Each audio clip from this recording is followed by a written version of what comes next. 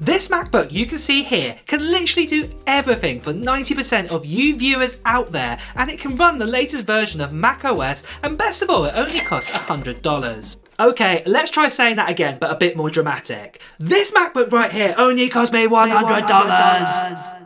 Ew.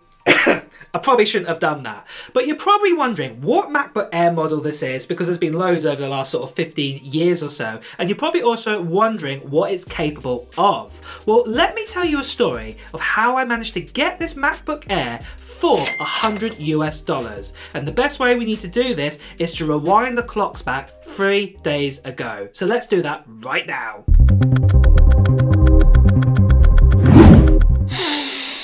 Hello, welcome to a very British computer shop where we sell desktops, we sell laptops, and we also sell MacBooks and components. How may I help you today?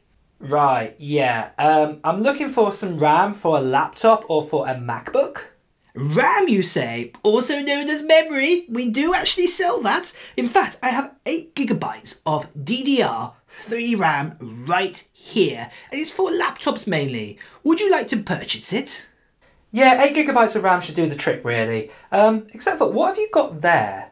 Oh, these! Yes, I do have some MacBooks here. I haven't actually tested them as of yet, but um, I could sell them to you, I suppose. So let's have a look here. I do have a larger 13-inch MacBook Air here, and I guess, like I said, I haven't tested it, so I could sell it to you for £75, what is around about, ooh, 100 US dollars, give or take a dollar or cent. Would you like to purchase it?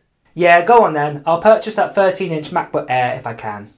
Is there anything else you would require? Is it just the RAM and also the MacBook? No, I think that's just it. Just the RAM and also the MacBook Air. That's no problem at all. Thank you very much for your purchase.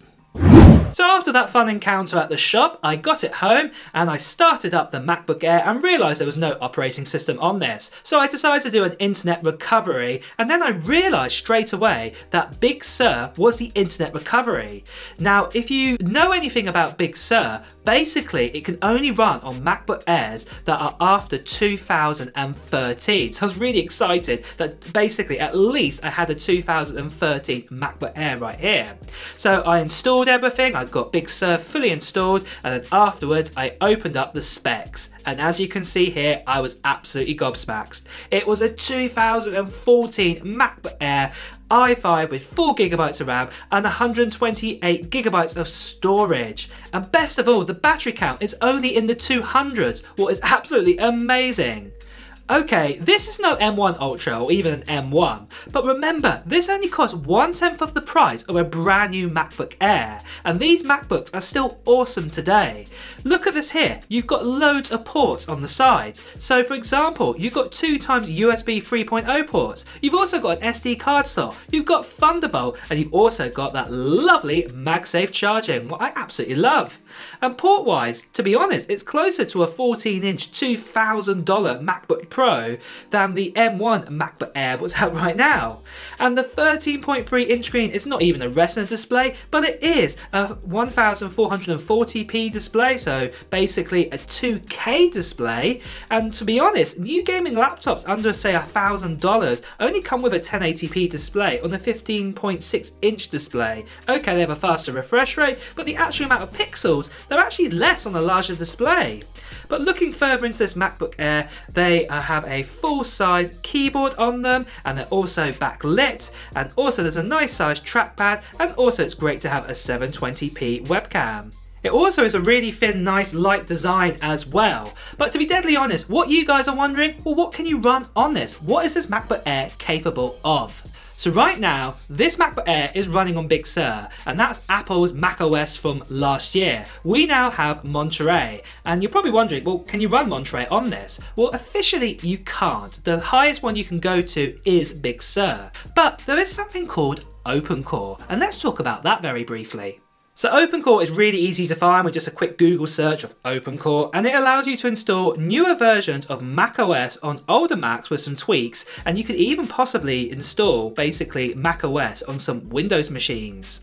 Well the good news is Monterey should work on this MacBook Air according to OpenCore's website as you can see right here. It looks like there shouldn't be any problems at all to install it.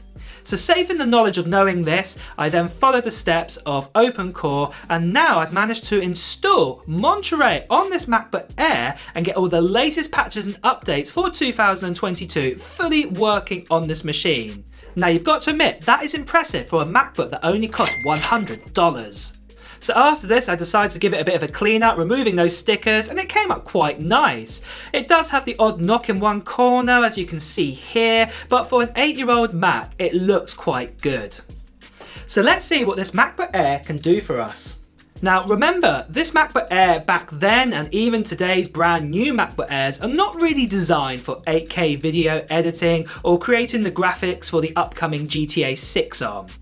A MacBook Air is generally for a home user person. So this is the kind of person who goes to work, comes home, maybe wants to check their emails, browse the web, do social media, I don't know, decide to watch Netflix, maybe a bit of YouTube on there, maybe checking out Matt Talks Tech, I don't know. But basically, this is what this MacBook Air is for. It might also be used for, say, if you're going to college or to university. So if you're going to be studying something which just requires a lot of word processing, maybe you would buy this. But if you're getting into IT or if you're going to go into photo editing or video editing, you would not be buying yourself a MacBook Air. And I will not recommend this MacBook Air or any MacBook Air really for that. You should be stepping up into the likes of say a MacBook Pro kind of area for that. So definitely not for a MacBook Air. But I think you're getting the idea who a MacBook Air is generally for. And you can see why I say that 90% of users would be absolutely fine with a MacBook Air just like this $100 one.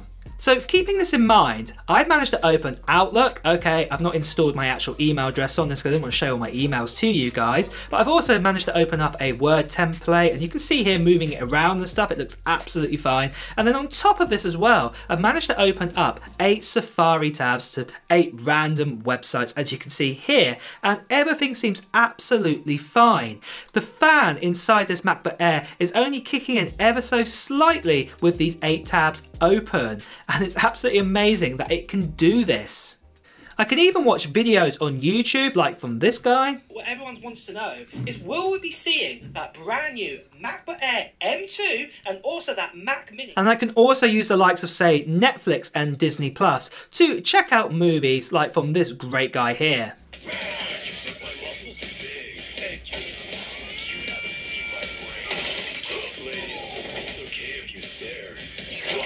This MacBook Air would be more than capable of airdropping a couple of photos from your iPhone over to the MacBook and doing a bit of editing of photos on the MacBook as well. So it's really, really amazing for that too.